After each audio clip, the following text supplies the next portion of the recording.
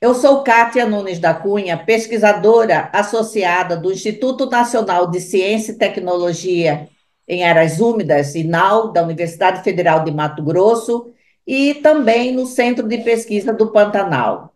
Eu estou hoje aqui para apresentar um material chamado Sementes do Pantanal, Recuperação de Áreas Úmidas. Este é um vídeo para facilitar o uso deste produto, o qual você pode baixar diretamente no Instagram ou do site da nossa iniciativa Aquarela Pantanal.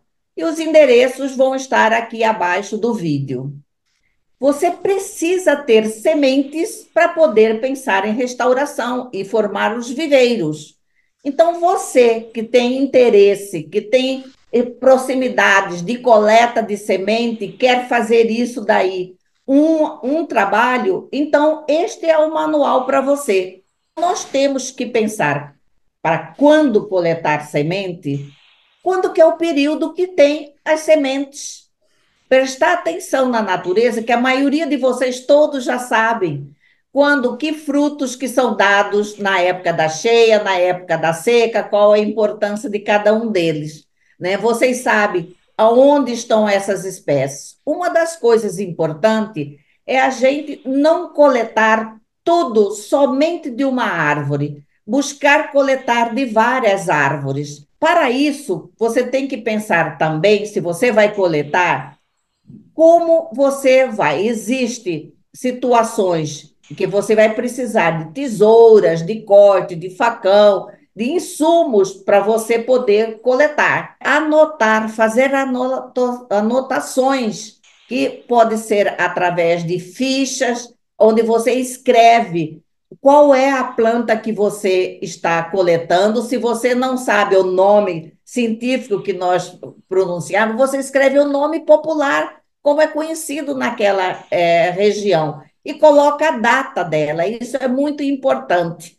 Se você acompanhar o manual, você vai verificar que ali está bem ilustrado os métodos de coleta. Como que vocês vão coletar a semente? Você pode coletar subindo na árvore ou abaixando o galho da árvore, cortando, ou você pode fazer coleta diretamente no chão, que as sementes, os frutos estão todos no chão. A partir desse momento, você entra numa fase de manejo de frutas e sementes, porque muitas sementes vão estar dentro desses frutos.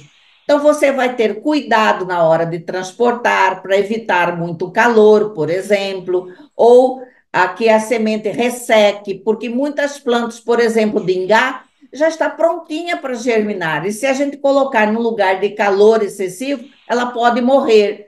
Então, isso é todo o cuidado que você deve fazer quando você, depois de você coletar essa semente. Depois que você fez o trabalho de campo, você vem para uma área é aonde você pode trabalhar com essas sementes.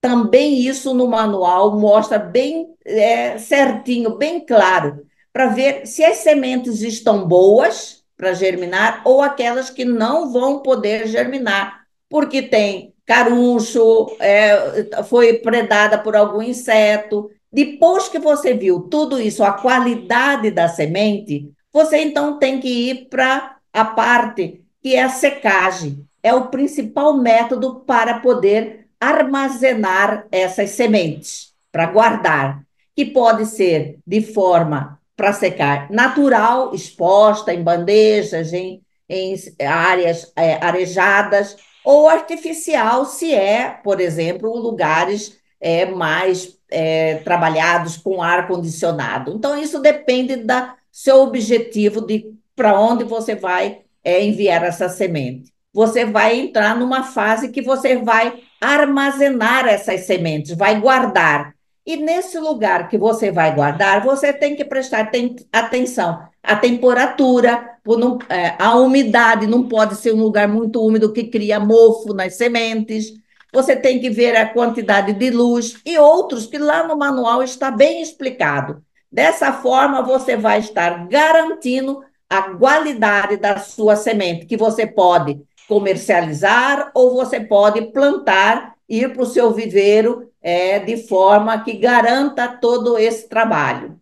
Espero que você tenha gostado e que tenha sido útil e despertado a você o desejo de conhecer lá no site esses manuais para facilitar muito o seu trabalho. Para finalizar, eu gostaria de lembrar que este é um material que foi produzido pela iniciativa Aquarela Pantanal, que é junto de uma forma coletiva que podemos desenvolver estes manuais, que envolve tanto a MUPAN, Mulheres em Ação do Pantanal, a Wetlands International do Brasil, o Polo Socioambiental SESC Pantanal, o Centro de Pesquisa do Pantanal e o Instituto Nacional de Ciência e Tecnologia em Áreas Úmidas, junto com a UFMT. Além disso, esta iniciativa da Aquarela Pantanal, ela teve apoio financeiro do Fundo Global para o Meio Ambiente, que por meio de um projeto grande brasileiro que envolve conservação, recuperação e manejo da biodiversidade de outros sistemas, como a Caatinga, o Pampa, inclusive do Pantanal, que é coordenado pelo Ministério do Meio Ambiente e Mudança do Clima junto com as agências do Banco Interamericano de Desenvolvimento, como implementador, e o Fundo Brasileiro de Biodiversidade, além do DOB Ecology, via programa Corredor Azul da Wetland International. Muito obrigada e espero que vocês vão lá no site buscar esses manuais.